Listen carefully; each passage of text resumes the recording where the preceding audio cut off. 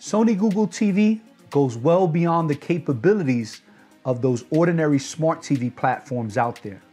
You see, with Google TV, you have access to over 7,000 apps and 700,000 movies and TV episodes, which means you get a ton more added value with your TV purchase. But what if you're a power user like myself and your TV's onboard built in storage simply doesn't have space for all those apps you want to download? Well, not to worry. I'm Eric from Sony, and in today's episode, I'm going to show you how to expand your Sony TV storage simply using a USB drive. Let's get right to it. First, you're going to want to ensure that you're starting off with a blank or new USB drive. It's important to make sure that it's either new or one that you don't mind losing the files on because this USB drive during this process will be reformatted and we will be erasing anything that's on the existing drive. So again, I wanna make sure you guys aren't losing any valuable information. After you've done this, you're gonna wanna go ahead and plug the USB drive into one of your high speed ports, USB ports that is, on your television. The way you identify a high speed television port on compatible Sony models, that port will have a blue color on the inside of the port. Then you'll notice the high speed. And this is gonna be to ensure, again, maximum performance and maximum reliability. After you've done that, we're gonna go ahead and turn the television on. I'm actually gonna do it with you here live on my TV. And I'm gonna have you go to the remote and click the home button. The home button is gonna take you to the home menu and I want you to go to the settings tab. Now the settings tab is usually towards the right, top right hand corner. For those of you who don't see the word settings, some TVs will have the uh, gears drive or it looks like a gear. You wanna click on that, that's the settings icon. And then you wanna scroll down to where it says system on the new 2021 models.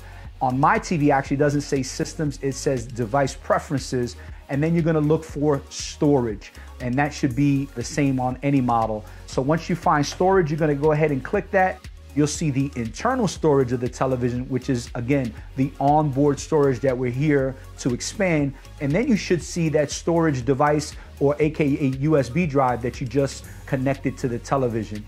Now, once you click on that specific device that we plugged in, the external device, you'll notice that it gives you the option to either eject or erase and reformat. I want you guys to click erase and reformat. Again, this is a great time for me to remind you that if you didn't already have this USB blank, this might be the last opportunity for you to do so before the TV does it for you. So again, just a quick reminder. So after that's done, you're gonna click format. Actually, I'll click it with you. Format, and once the formatting is complete, runs through a few seconds of a process, then your uh, external USB drive is now part of your TV's memory. At this point, I would usually have someone take any apps that they purchase or apps that are on the TV hard drive or, or storage that you want to put on the USB drive instead because there's more space. You now have the ability to move apps to this device or transport the apps to this device. Again, making more space for um, new apps and new things on your television. One last thing is in the event that you want to remove this USB drive from the TV, again, don't recommend it, but if you had to remove the USB drive, you're gonna follow a similar process. Again, settings, system, and then storage. And then you're gonna be able to click on the storage device, and now you have that eject option that we talked about in the initial setup. This will be the time to hit eject and then you'll be able to remove that USB drive safely. Uh, again, remember, once that USB drive is removed, you no longer have access to the apps and to the information that you've downloaded on that USB. So my recommendation would be if you had to remove that USB drive for whatever reason, make sure you transfer those important apps and files back to the built-in or onboard storage of the TV before removing and ejecting that USB drive. Thanks for watching. I'm Eric from Sony. Until next time.